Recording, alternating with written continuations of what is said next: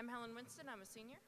I'm Courtney Bierman, and I am also a senior. I'm London Adams, and I'm a junior. I'm S. Nichols. I'm a senior, and we're from Millard South. And this is the only good thing about high school. You are my center.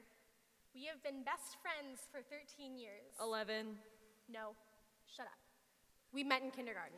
but didn't become friends until your dragon phase in second grade. Oh, oh God. Guys, I need to tell you a story. Is this about Lady Gaga's Oscar performance? Not this again. But you were born this way. We know. Anyways, one time I shaved my grandmother's eyebrow off and it never grew back. What?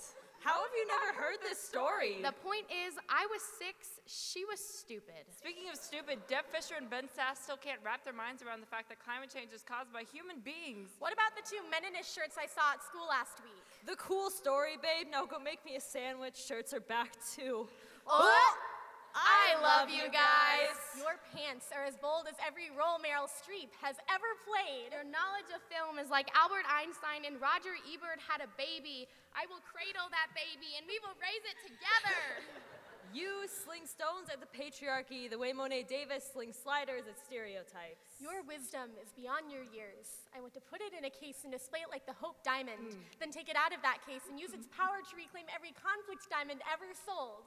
You take heartbreak like lonely stardust and isolate rock and swirl them in a whole galaxy. Your eyes are like the lens of the Hubble telescope, showing me this world the way it shows us the universe. Your sass is the gravity that pulls me back to Earth. Whenever we talk, I can feel you believing in me just how I want to be. Your affection is magnetic, holding our metallic fragments in place when we doubt their arrangement. You are the ideal embodiment of sunshine. If we are a solar system, you are the life-giving star. The forces that brought us together are as good and true as Courtney's puppy chow. It was sophomore year when I moved here and the loneliness pressed in. Now you're the first person I call when it presses tighter. That fall, it was raining. We got pizza and ate it in my car. We were starving, and in the fog, I drew pictures I wouldn't want my mother to see.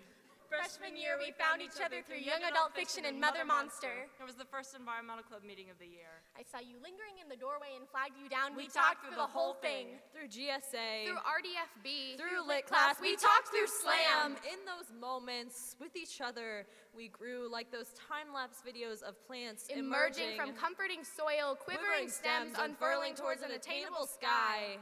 I don't have to be embarrassed.